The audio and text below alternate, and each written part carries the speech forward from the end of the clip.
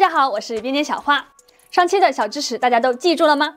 今天呢，咱们就继续拿上放大镜，走进狂飙。在杨建、马涛犯罪行为败露后呢，有一段是两人想要联系走私船舶偷渡出境。那关于杨建、马涛意欲偷渡出境的违法行为，法律是怎样规定的呢？根据《中华人民共和国刑法》第三百一十八条，组织他人偷越国边境的，处两年以上七年以下有期徒刑，并处罚金；有下列情形之一的，处七年以上有期徒刑或者无期徒刑，并处罚金或者没收财产。第三百二十一条，运送他人偷越国边境的，处五年以下有期徒刑、拘役或者管制，并处罚金；有下列情形之一的，处五年以上十年以下有期徒刑，并处罚金。所以大家千万不能学习这些错误的行为，带着侥幸的心理实施犯罪，避免出现呢出境不规范、亲能两行泪的情况。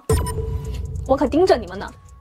快要结尾的时候，高启兰想让安心陪他一起，随着医院医疗队呢出境考察，但安心呢最终拒绝了他的好意，选择留下与黑恶势力对抗。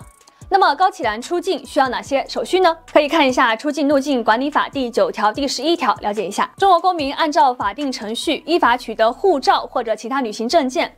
按照规定呢，取得前往国签证或者其他入境许可证明，向出入境边防检查机关呢交验本人的护照或者其他旅行证件等出入境证件，履行规定的手续，经查验准许呢，方可出境入境。好了，今天的移民管理小知识狂飙二点零到这里就结束啦。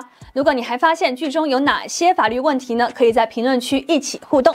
我是边边小花，了解更多移民管理小知识，关注我，我们下期再见，拜拜。